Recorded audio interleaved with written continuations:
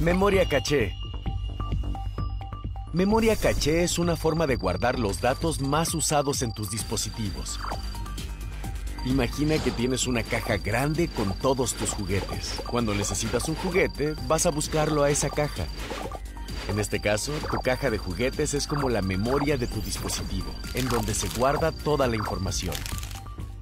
Ahora imagina que la memoria caché es una pequeña bolsa que llevas contigo. Ahí guardas los juguetes que usas con más frecuencia. De esta manera, si necesitas uno que usas a menudo, no tienes que ir hasta la caja grande a buscarlo. El caché es como esa bolsa, solo que en vez de juguetes, guarda la información que usas con mayor frecuencia en lugar de buscarla en la memoria principal. Algo que hay que saber es que las apps de tu celular, los navegadores y tu computadora guardan caché y eso ocupa espacio, así que no olvides borrarla de vez en cuando.